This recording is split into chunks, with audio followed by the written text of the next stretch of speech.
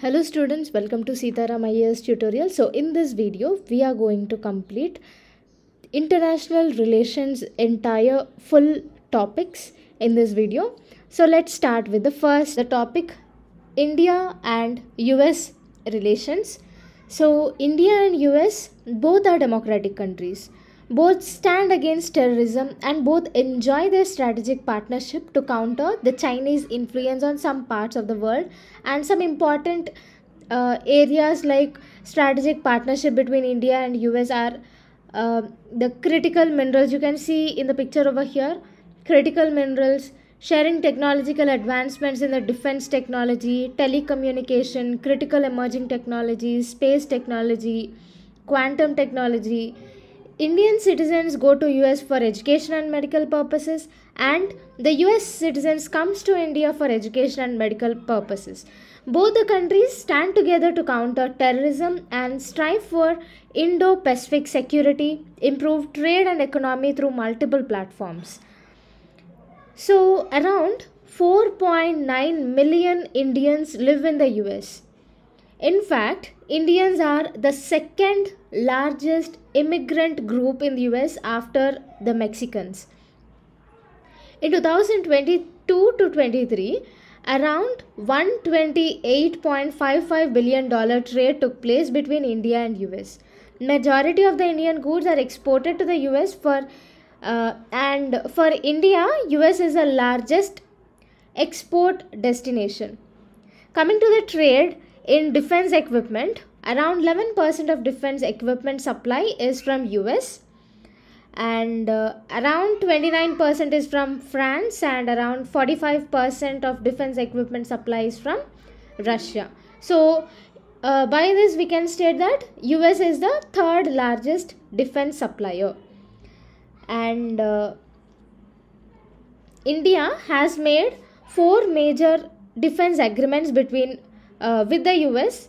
So those four agreements are you can see in the box over here the defense ties. So the first one is the Logistics Exchange Memorandum of Association 2016. The second one is Communication Compatibility and Security Agreement 2018. The third agreement is International Security Agreement of 2019 and the fourth one is basic exchange and cooperation agreement 2020 so all these four agreements are made between india and us both the countries also participate in the military exercises like yuddha abhyas vajraprayag prahar malabar rimpac etc so recently our prime minister has visited us and signed various strategic deals and partnerships. So some of the signed deals and agreements are for technology purpose, for the for the technology transfer and intra inter-agency led strategic trade dialogue was introduced and to promote commercial opportunities, research, talent and skill development, memorandum of understanding on semiconductor supply chain and innovation partnership was signed. The next one is in the telecommunication sector open radio access network that is open ran was launched by both india's bharat 6g and us next-g alliance to reduce the cost of data and communication uh, to achieve comprehensive quantum information sciences and technology to develop and commercialize the artificial intelligence and quantum technology between the two countries. Indo US Quantum Coordination Mechanism was established and uh, Initiative on Critical and Emerging Technology that is ICET, was established on January 2023. So it is headed by the National Security Council Secretariat in India and US National Security Council. So ICET was launched to strengthen the strengthen and broaden the industrial cooperation and strategic technological partnership between companies, institutions of India and US. Another important initiative are um, India and US new and emerging renewable energy technology action platform was launched. India became a member in the US led mineral security partnership. Indo US Global Challenge Institutes are established for deeper research partnership between India and US. And US said it would launch a pilot project to provide temporary work visas in 2023. So, this is about the overall view of India and US relations. Now, let's look into the particular, particular one topic between India and US defense relations. So, US is the third largest defense equipment supplier for India. The first one is Russia with 45% of defense supply, and the second one is France with 29% of defense supply. Okay, so US is the third largest defense equipment supplier for India. So, our Indian Prime Minister visited US and made some defense related agreements. So, they are the first agreement is the agreement um, made to co produce uh, GE 414 jet engine. Okay, so this jet engine will be made between General Electric and Hindustan Aeronautics Limited. So, this one GE 414 jet engine is a uh, turbofan engine. Next one is 31 high altitude MQ-9B drones will be procured from US and US India Defense Acceleration Ecosystem that is INDUS-X was launched. So under this INDUS-X, defense technological uh, knowledge sharing and cooperation between two countries are encouraged. This is about the India and US defense relations. The next topic is India and US space relations. So, as per the recent agreements, India has become the 27th member of the Artemis Accord. So, here, uh, look at this box over here. So, these are all uh, the members of Artemis Accord. So, India has become the 27th member of Artemis Accord.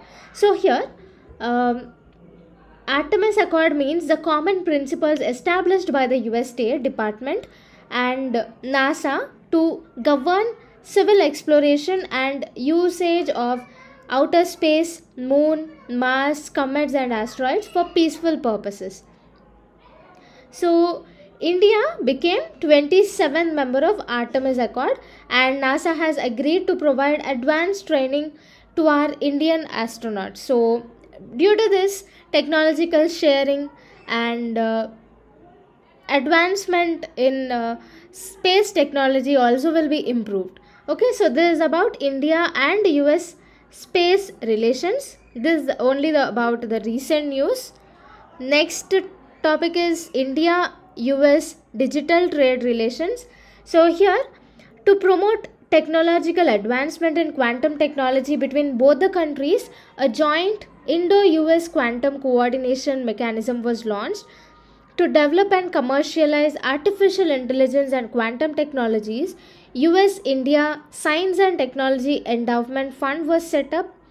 Initiative on Critical and Emerging Technologies or ICET was launched to strengthen and broaden emerging technologies in defense, artificial intelligence, semiconductor, wireless telecommunications, etc.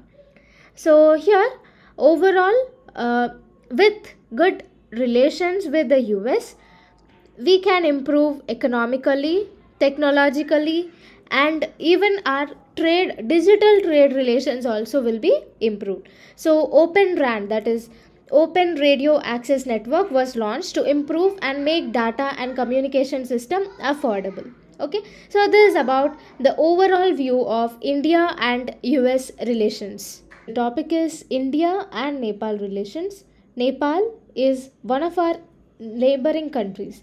So it shares border with five Indian states. You can look into the map over here. The five border uh, border states that share with Nepal are Sikkim, West Bengal, Bihar, Uttar Pradesh, and Uttarakhand.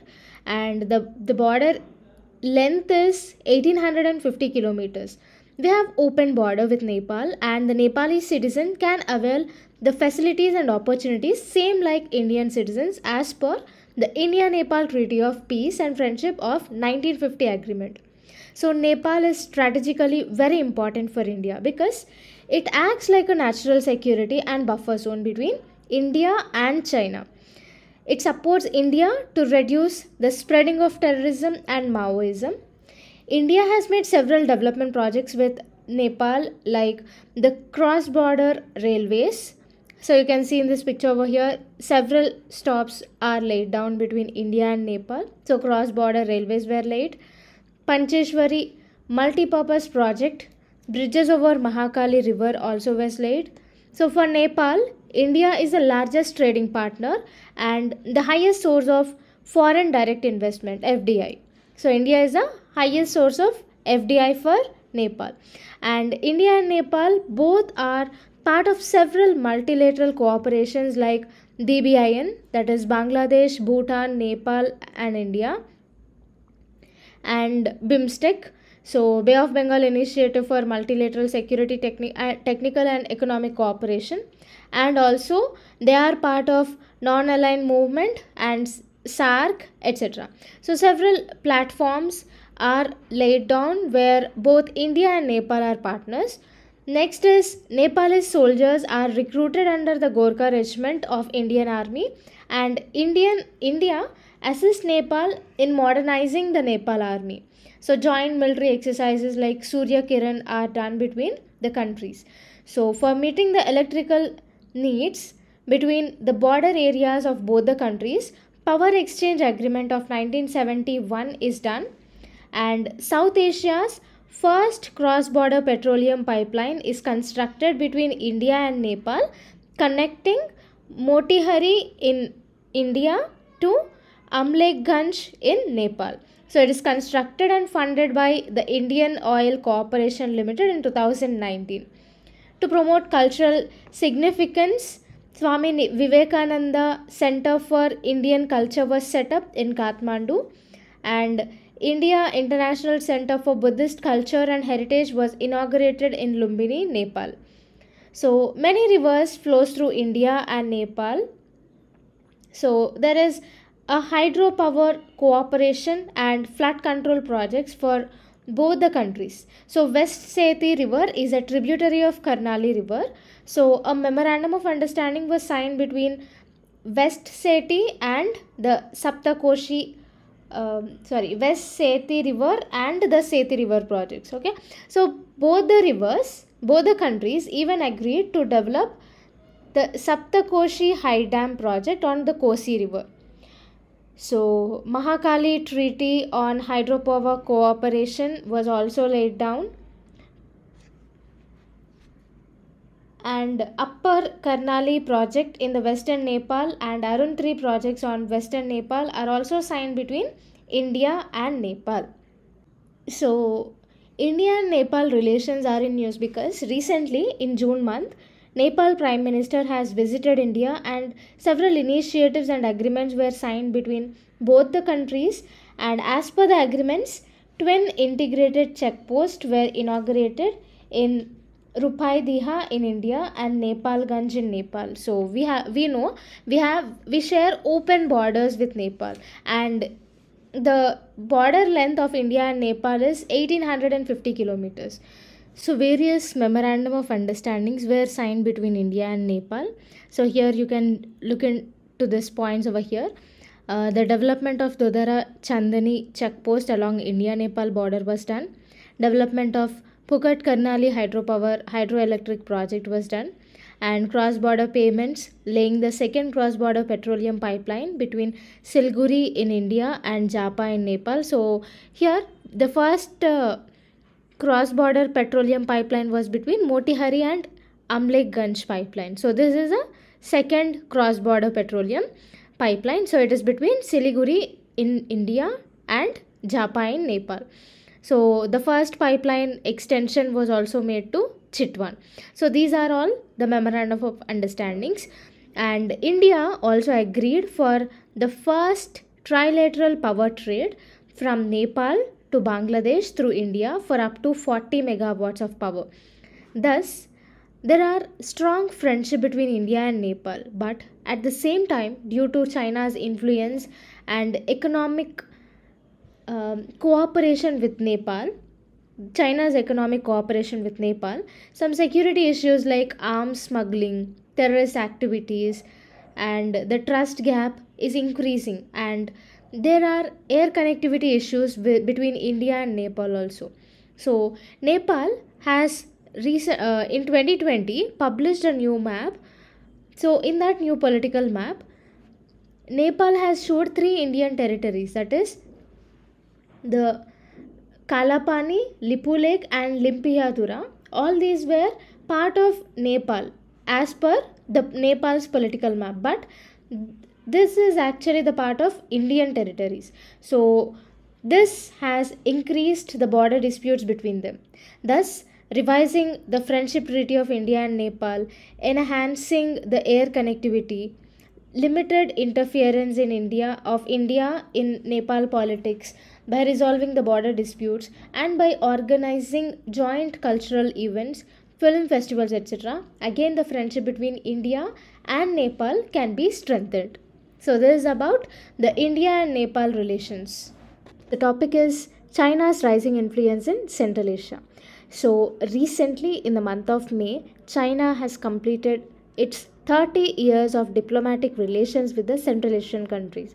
So, it has invited Tajikistan, Uzbekistan, Kazakhstan, Turkmenistan, and Kyrgyzstan. These are the five Central Asian countries. So, China plus five Central Asian countries are invited. Sorry china has hosted this c plus c5 summit. So before uh, it has hosted virtually but now they met uh, in china. So this is about c plus c5 summit. So the c5 countries are kazakhstan uzbekistan turkmenistan tajikistan and kyrgyzstan. So they met in china. So china has hosted it so it marked the 30 years of diplomatic relations.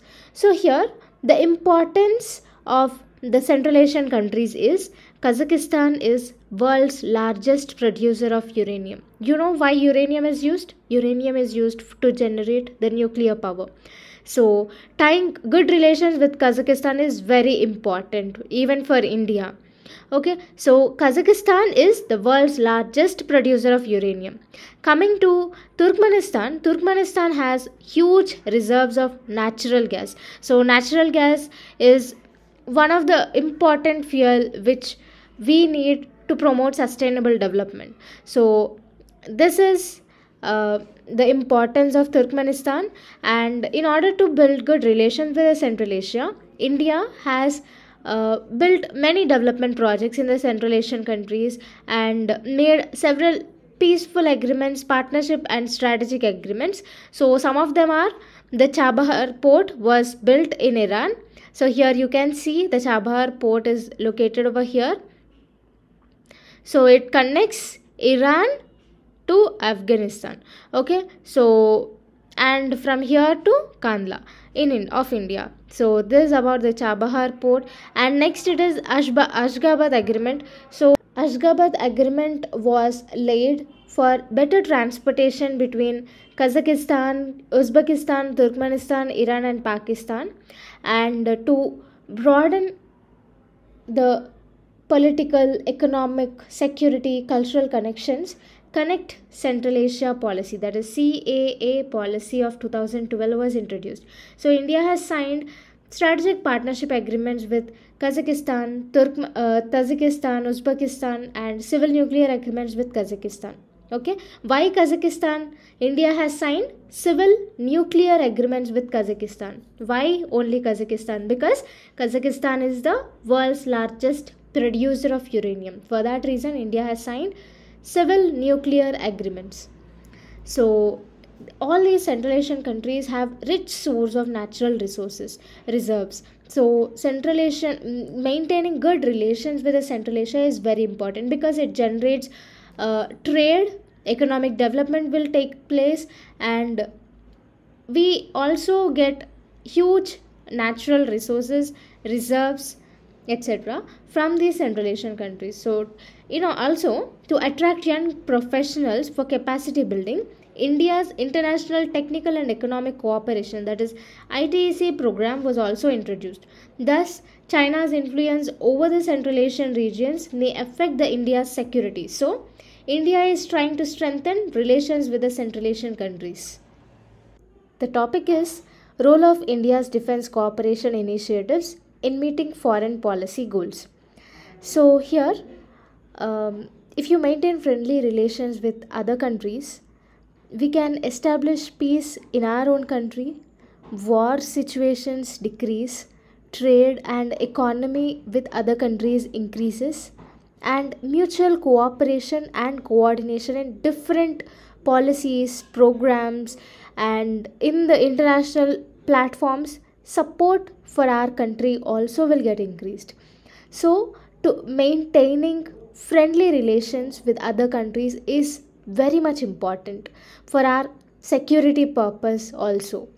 So india has important foreign policy goals that is to protect indian diaspora in other countries. So the people the citizens of india who go and live in other countries are called indian diaspora. So we have to maintain friendly relations with other countries because our people are present in their countries so, to engage and protect Indian diaspora, we have to maintain friendly relations. And next, to protect India from traditional and non traditional threats. What are these traditional and non traditional threats? The threats like terrorism, uh, smuggling, all these come under traditional threats, and non traditional traditional threats come under some crimes like that okay? So to protect india from traditional and non-traditional threats friendly relations are important. And uh, we have many global summits like SAARC, G20 summit, all these in all these summits to voice our uh, to to give India's voice, we have to uh, get support from other countries. So for that reason, we have to maintain friendly relations. And uh, to promote to exchange mutual technological advancements, military advancements, and any other space related updates, friendly relations are needed. So, all these are the India's foreign policy important goals. So, here recently, India has gifted indigenously built in service military missile corvette INS Kirpan to Vietnam. So, here, what is the meaning of indigenous? Indigenous means which we made, okay, which is native of India. Okay so indian made ins kirpan was gifted to vietnam. So this is one of the act of friendly relations with the vietnam. Okay so here um, coming to this one uh, friendly cooperations for any country good trade relations strategic and cultural relations are important. Same like that, foreign relations are important for India to protect our Indian diaspora, to exchange advanced technologies, to protect India from traditional and non traditional threats, to ensure opinion on the global forums.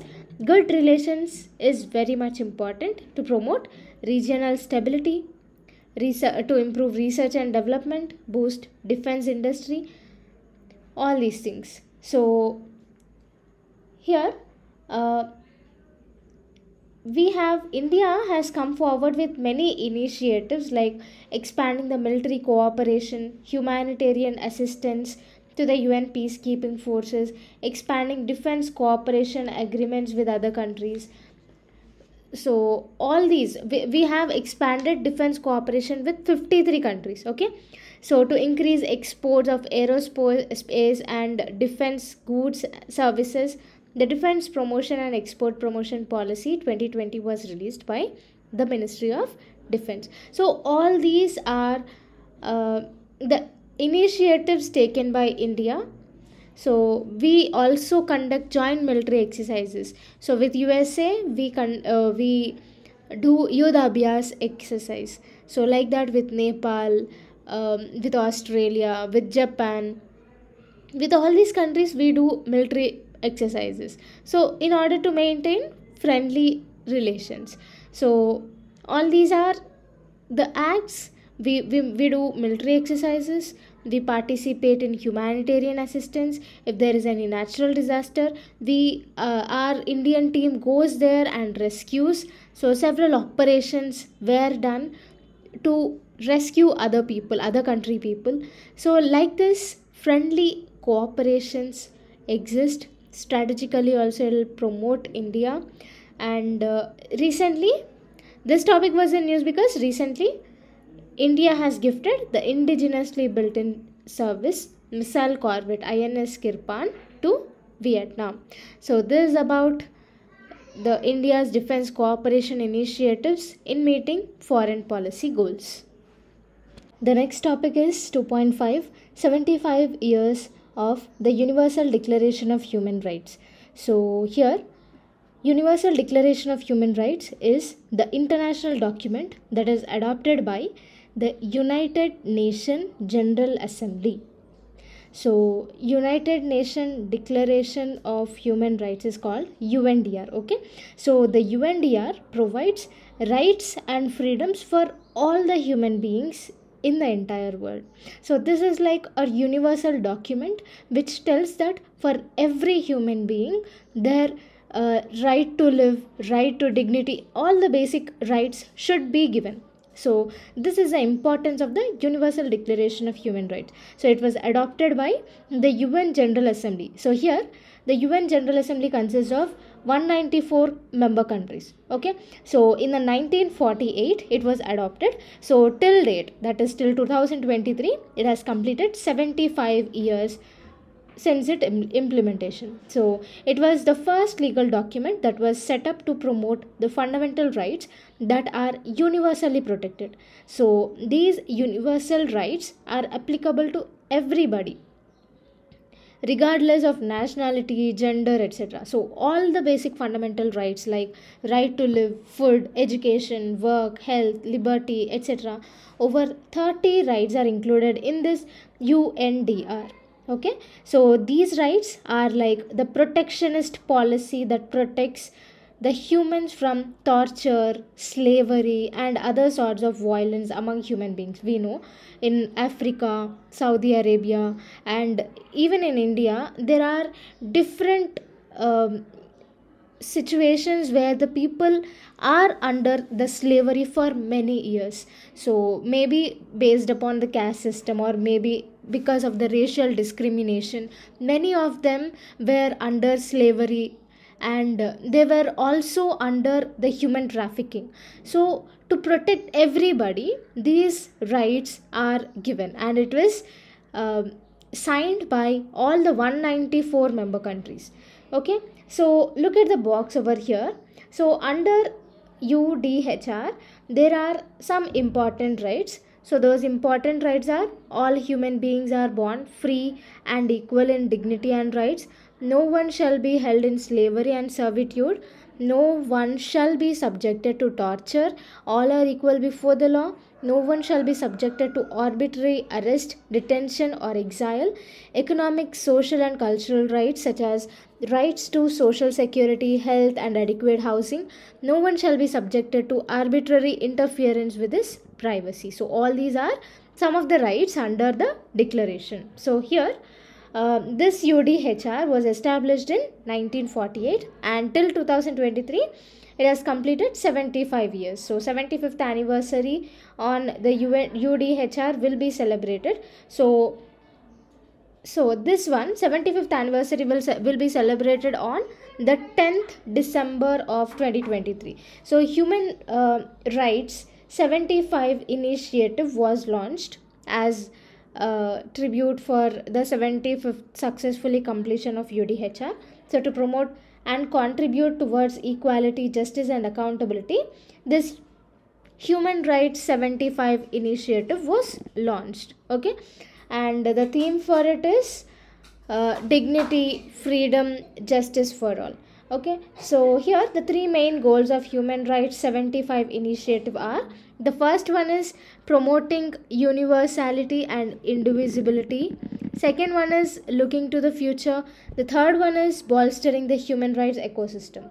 So, even though the Universal Declaration of Human Rights are not legally binding, due to the implementation of the Universal Human Rights in many countries, uh, many countries also came forward to implement these human rights in their own countries and provided freedom to all their fellow human beings. For example, Vienna has adopted the Vienna Declaration. So, here yes in this box you can see about the vienna declaration and program action vdpa so vienna uh, has adopted the vienna declaration and program of action to strengthen human rights work and the establishment of the office of high, commissioner of, for human rights so this was uh, recently done in june 2023 to mark the 30th anniversary of vdpa okay so these are all examples of the implementation of the Universal Declaration of Human Rights in their own countries. But there are some challenges to the human rights. Universal human rights are established to promote peace and prosperity, education and development among the countries. But as per the UNDP theme, you can see over here in these reports, all these are the challenges of human rights. So here as per the UNDP's Human Development Report 2023, 1.1 billion people out of 6.1 billion people live in acute multidimensional poverty. So, here uh, about uh, here in this report the undp's human, human development report they stated that about 6 uh, 1.1 billion out of 6.1 billion people live in acute multidimensional po- poverty like poor health due to malnutrition lack of clean water and electricity poor quality of work etc you can see such type of people in your own locations in in your own surroundings right? So the poverty is still present even though it has completed 75 years. Our universal declaration of human rights has completed 75 years but still it is not so effective. Poverty is still present. There are frequent wars conflicts and terrorism spreading across the countries due to the recent ukraine war and other conflicts. Over 100 million people were displaced as per the world food program estimates uh, the world food program has estimated that more than 345 million people face high levels of food insecurity in 2023 so food insecurity is doubled than that of 2020 so as per the world economic forum's global trade report global gender report 2022 it will take 132 years more to reach the gender equality the racial, ethnic, and religious hatred among the countries are increasing. The discrimination and violence against the people in the LGBTQ plus community was too common and the violence of the country's authoritarian groups on its people have become more common. Military coup in Myanmar, Taliban's taking over human rights in Afghanistan, and the executions and arrests in Iran are some of the examples. On the other hand, several initiatives were taken to promote human rights. So, look at the box over here. Uh, there are four main conventions like the convention on human right uh, convention on the prevention and punishment of the crime of genocide 1948 and convention on the rights of the child convention on the rights of the persons with disabilities of 2006 etc and 1951 refugee convention and its 1967 protocol. So all these are the major conventions to promote human rights. And next human rights council was implemented to strengthen promote and protect human rights. Human rights are implemented in the UN policies and programs like Sustainable Development Goals, where right to education, gender equality, and other basic needs are promoted. And UN peacekeeping force provides security and protect the humans human rights in the conflicted areas around the world responsibility to protect R2P, that is responsibility to protect.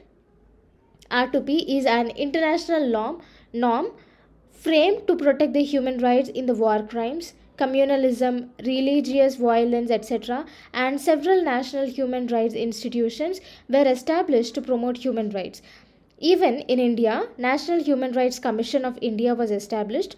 Even though many of them are launched, still they see the violations of human rights in many cases. Global systems like Office of UN High Commissioner for Human Rights, International Criminal Court, regional human rights system and other institutions should take strict action against human rights violation. Bringing awareness of the basic rights to the people is also very important. Both public and private organizations should contribute towards making the universal rights a living reality so this is all about the universal human rights declaration topic the next topic is 2.6 United Nations Education, Scientific and Cultural Organizations, UNESCO. So, here UNESCO is a specialized agency of the United Nations that consists of 194 countries and 11 associate members. So, the main objective is to attain quality education for all and addressing social and ethical challenges. So, it contributes to promote international cooperation in education, sciences, culture, communication, and information.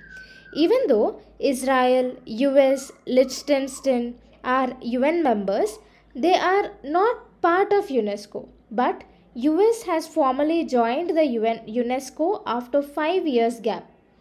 Because of this reason, this topic was in news. So in 2018, US has left UNESCO stating that unequal categorization of sites because of the ancient Jewish sites are named as the Palestinian heritage sites. So US supports Israel and we know there is a frequent war like situations between Israel and the Palestine. So US has withdrawn from UNESCO after naming the ancient Jewish site as the Palestinian heritage sites and it stopped funding to UNESCO. And from then onwards, China became the largest funder to the UNESCO and started influencing the UNESCO. And due to this, the US is slowly losing its soft power influence with its member countries. So, in 2023, June month, US has again formally rejoined the UNESCO after 5 years absence and proposed to pay the pending the due amount of uh, over 600 million dollars. So coming to the admission of unesco members the countries which are not part of unesco are admitted to unesco by recommendations of executive body and by two-third majority voting of the general conference the countries which are not members but are admitted are called the associate members. So coming to the achievements of unesco. So the achievements of unesco is present over here in this box. So coming to the achievements of unesco it preserves 1157 world heritage sites in 167 countries. It can uh, contribute it, it has contributed to the significant progress in the global education and literacy. Rate of the adults has increased from 76.7% to 86.81% between 1999 to 2020 and uh, special attention is provided to the world heritage sites in danger so the list of world heritage sites in danger is maintained by the world heritage committees so there are some issues faced by the UNESCO. So the issues faced by the UNESCO are the UNESCO does not have its own body to select the site. In fact, the local government should suggest the names to the UNESCO and as the US has withdrawn from the UNESCO in 2018, the funds for the UNESCO went down and it further reduced funds to the education. So promoting education is one of the major goal of UNESCO. But due to the lack of lack of funds, it could not fund more to education. And due to the Chinese influence on the UNESCO, China became the major decision maker in allocating as it allocated more. So, uh, even the UNESCO policies and programs um have been uh, majorly influenced by the China. Thus, developed countries should contribute more to the country, more to the UNESCO, so that China's influence can also be countered. So, this is all about the UNESCO World Heritage Sites. The next topic is India and Egypt relations. So, on 25th June, our Prime Minister has visited Egypt and signed the Strategic Partnership Agreement. So, the agreement consists of four elements that is, political, first one is political defense and security, the second one is economic engagement, the third one is scientific and academic collaboration, and the fourth one is cultural and people to people contacts. So, we have good relations with Egypt. In fact, Egypt has helped India to conquer Goa from Portuguese under Operation Vijay. Egypt has the control on the Suez Canal and Egypt has stopped the Portuguese military ships and in the Egypt in the Suez Canal and helped India to implement Operation Vijay successfully. So from ancient times we have good trade relations with Egypt. Egypt is a good market for our defense goods. So China's trade with Egypt is almost double than that of India so, for security and good economic cooperation, the strategic partnership agreement was signed by both our countries, that is India and Egypt, and three memorandum of understandings was signed on agriculture, archaeology, and antiquities, and on competition law. So, our Indian Prime Minister was also awarded the Egypt's uh, highest state of honor called the Order of the Nile award. So, this award is only provided for the persons who have done useful service to its countries. So, our PM has also visited Heliopolis Commonwealth War Grave Cemetery and Al Hakim Mosque in Egypt. So, here Heliopolis Commonwealth War Cement Gravery is a memorial of the British Indian Army who died in the World War One and World War Two. So it is a symbol for the sacrifice of nearly 4,300 Indian soldiers who fought for Egypt and Palestine and Aden. And Al Hakim Mosque in Egypt is visited by PM. So the Dawoodi Bohra Muslim sect who originate who were originated in Egypt and settled in India during the 11th century has renovated this mosque and it is and they are only maintaining the mosque since 1970 so this is about uh, the india and egypt relations the next topic is 75 years of united nation peacekeeping. So wherever warlike situation occurs the united nation peacekeepers go and settle the disputes. They rescue the people. They try to establish peace and security in those war and conflicted areas and countries. So here recently in the month of may 75th anniversary of the un peacekeeping was celebrated. So its theme was Peace Begins With Me. So, the Peace Begins With Me campaign was also launched to recognize the service and sacrifice of the United Nations peacekeepers. So, the campaign has called everybody to join the global movement for peace. So, this is all about the United Nations peacekeeping. So, here uh, one another Department of Peace Operations, that is DPO, is uh, there to learn. So, here uh, it is formally created in 1992 under as the Department of Peacekeeping Operations. So it assists the member countries and the Secretary General to maintain international peace and security. Okay, so this is about the DPO.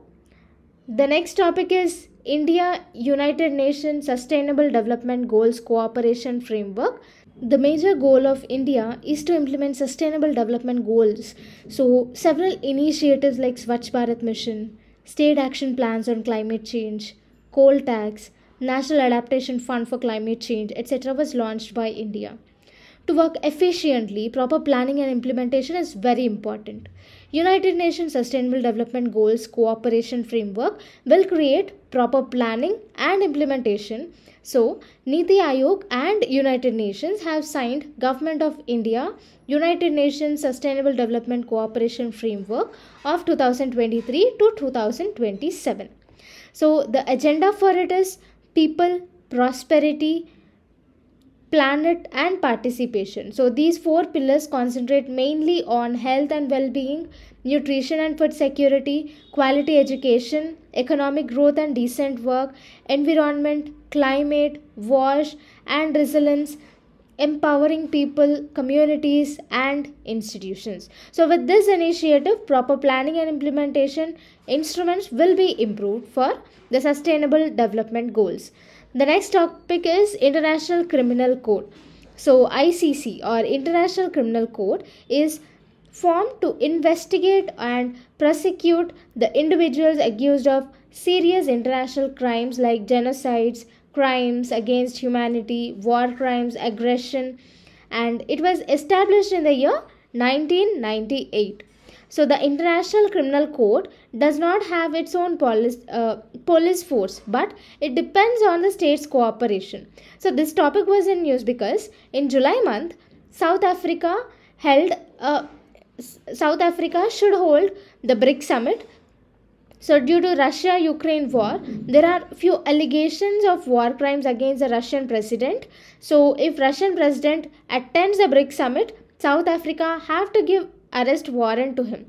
But uh, Russian president did not attend the summit. So in that situation, South Africa was thinking about the legal options if Russian president attends the BRICS summit. Okay, so for that reason, uh, this topic was in news. The important points to learn over here is the International Criminal Court doesn't have any police force of its own. The state police force have to support it.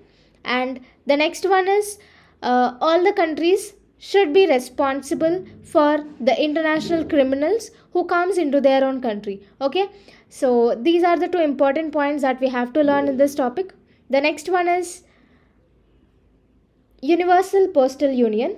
So it is the second oldest international organization established in the year 1874 it has 190, 192 member countries, including India, and its headquarters is located in Switzerland. The main objective is to set the rules for the international mail exchanges and to make recommendations to stimulate growth in mail, parcel, financial services, etc. So, in June month, Cabinet has approved the establishment of the Regional Office of the Universal Postal Union in Delhi. The next topic is Asia Pacific Plant Protection Commission APPPC. Okay, so the APPPC is a body that promotes for development and protection of plants. It sets up the standards for the phytosanitary measures, etc. So this topic was in news because the APPPC, that is APPPC, has unanimously elected India as a chair of the Standing Committee on Integrated Pest Management.